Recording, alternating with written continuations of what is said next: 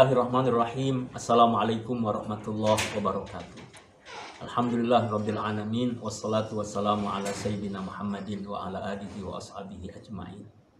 Ikhwatal iman, pemirsa Salmi TV dan Abang Tufila Bang Haji Nuh Salim, semoga Allah terus jaga beliau, Allah muliakan beliau, Allah angkat derajat beliau, Allah istiqomahkan sampai perjumpaan yang indah dengan Allah.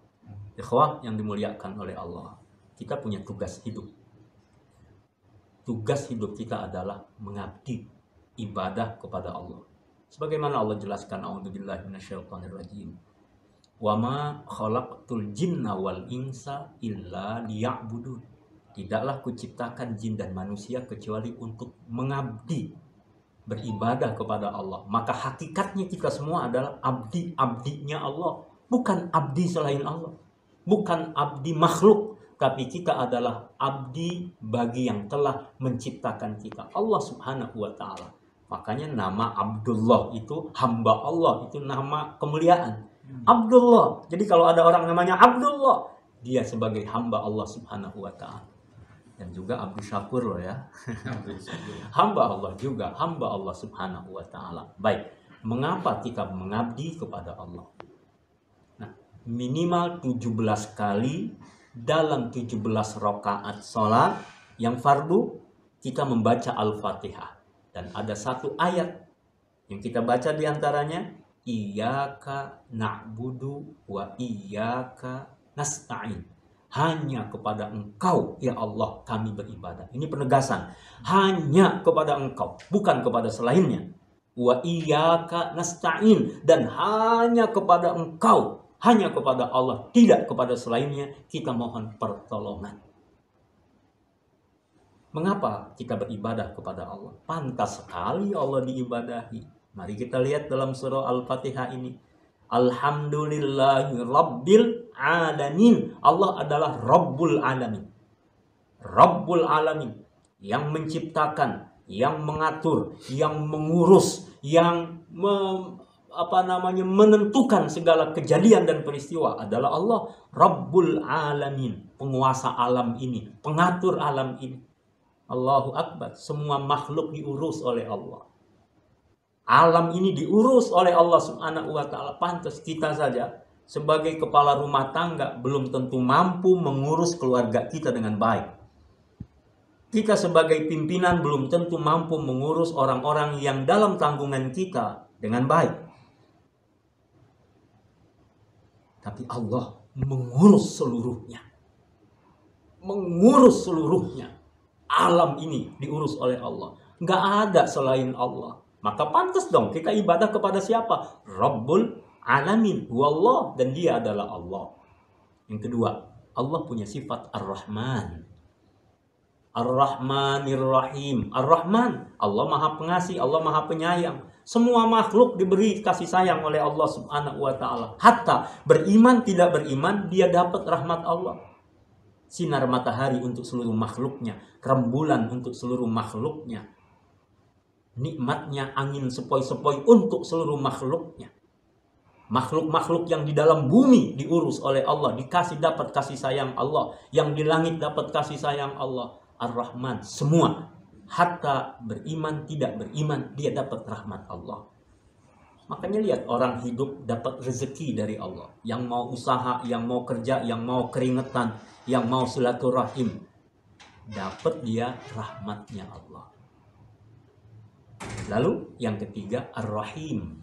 Allah subhanahu wa ta'ala punya sifat rahim dan ini khusus untuk orang-orang beriman. La yastawi ashabun nari wa ashabul jannah. Ashabul jannati humul faizun. Pemenang sejati adalah ashabul jannah, yaitu ahli surga. Dan ahli surga ini orang-orang beriman. Orang-orang bertakwa, wa'iddat lil muttaqin. Surga Allah siapkan buat orang bertakwa. Nggak mungkin dia bertakwa tanpa iman. Dan ikhwah yang dimuliakan oleh Allah Subhanahu wa taala, Gak sama yastawi ashabun nar ashabul jannah. Ahli neraka sama ahli surga gak sama. Siapa ahli surga? Sekali lagi orang beriman. Maka orang-orang beriman dia beruntung karena nanti dapat rahimnya Allah dan Allah siapkan buat orang-orang beriman. Katakanlah dunia dikuasai oleh mereka. Katakanlah politik dikuasai oleh mereka. Ekonomi dikuasai oleh mereka. Oleh apa pun. Iman itulah sebenarnya yang gak bisa dibeli. Iman itu kekayaan yang sangat luar biasa buat kita. Allahu Akbar. Dan nanti di akhirat puncaknya. Rahim Allah untuk orang-orang beriman saja. Pantas dong. Ada keadilan di sana. Pantas dong ada balasan yang terbaik adalah di sana. Pantes dong, permintaan tertinggi diberikan oleh Allah di sana nanti di akhirat. Rahimnya Allah buat orang-orang beriman. Yang keempat, ikhwah, Allah Rabbul Alamin, Ar-Rahman, Ar-Rahim, Maliki Yaumiddin. Allah Raja di Raja. Hari ini kan banyak yang aku jadi sultan ya. ada sultan daerah ini, sultan daerah ini, atau Bang Nur juga sultan Bandung, sultan Salmi. Ya? Allahu Akbar. Orang banyak mengaku punya sesuatu. Ikhwah yang dimuliakan oleh Allah. Kalau sudah hari kiamat nanti datang, kalau sudah hari akhirat itu kita berada di dalamnya. Wahai para pencari keadilan, di situlah kita mendapatkan keadilan yang hakiki. Siapa yang berbuat dia akan menuai hasil dari perbuatannya. Ya'mal mithqala dzarratin khairan yara. Wa may ya'mal mithqala dzarratin syarran yara.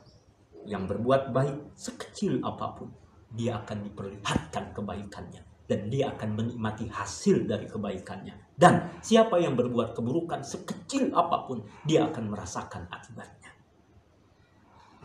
Malik yaumiddin yang hari ini berjuang untuk keadilan belum mendapatkan keadilan. Yang hari ini harusnya dia mendapatkan haknya, tapi haknya dirampas oleh orang lain. Jangan pernah khawatir, ada hari akhirat buat kita. Maliki yaumiddin. Alaihissallahu bi ahkamil hakimin. Bukankah Allah hakim yang paling adil buat kita?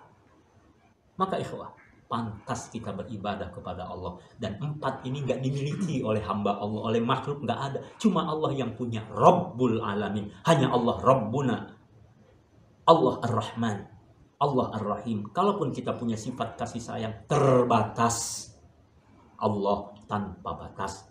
Maliki Yaumiddin Allah penguasa segala-galanya Allah pemilik segala-galanya dan akan kita dapatkan nanti. Maka beribadahlah kepada Allah dengan sebaik-baiknya. Wa'bud rabbaka hatta ya'tiyakal yakin tugas kita selama hidup ibadah sampai kematian datang kepada kita dan hasil dari ibadah kita nanti kita tengok di akhirat. Kalaupun di dunia telah diberikan balasan belum ada apa-apanya dengan apa yang Allah sudah sediakan di akhirat nanti semoga Allah golongkan kita minal ubad orang-orang hamba-hamba Allah yang terus mendekat kepada Allah, mengabdi kepada Allah dan Allah terima pengabdian kita. Subhanakallahumma bihamdika asyhadu an la ilaha illa anta astaghfiruka wa atubu ilaik. Wassalamualaikum warahmatullahi wabarakatuh.